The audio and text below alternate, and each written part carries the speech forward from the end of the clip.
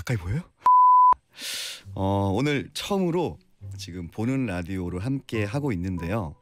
어, 박정아님께서 어, 인간적으로 이런 비주얼이라면 매일매일 보라 해줘라고 해주셨는데 아이고 참 쑥스럽다.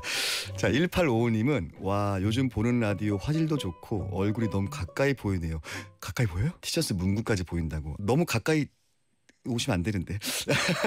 오늘 보이는 라디오라고 해서. 아 제가 머리가 커가지고 좀 커버하기 위해서 제가 그 페도라를 쓰고 왔는데 아, 아니 되게 잘 어, 어울리시네. 머리가 엄청 크게 보이네요. 아닙니다. 배치가 잘못됐어요.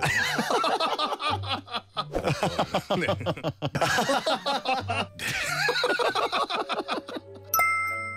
이제는 인사를 드려야 될 시간이네. 어우, 시간이 저좀 우리. 혜성 씨와 같이 있으면 저 혜성이다 보니까 네. 지구가 자전을 빨리 하나 봐요. 네? 아 네.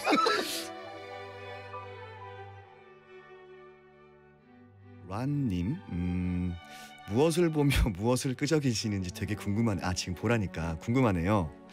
어, 뭐 별거 없습니다. 그 나중에 읽어드릴 그 사연, 네, 그런 거 끄적이는 건데, 저는 음, 내일 8시 30분에 다시 돌아오겠습니다. 여러분, 혜성처럼 빛나는 밤 되세요. 매일매일 보라 해줘, 보라 해줘. 에러 에러 에러